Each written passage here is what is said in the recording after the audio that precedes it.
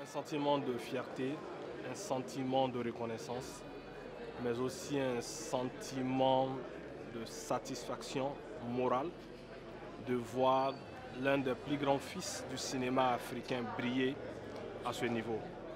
Je pense que c'est un moment unique que nous avons tous, professionnels du cinéma, autorités du Mali, euh, de rendre un vibrant hommage à ce grand artisan de la culture, à ce ambassadeur de la culture malienne. C'est la première fois dans ma carrière qu'on me reçoit avec le drapeau malien.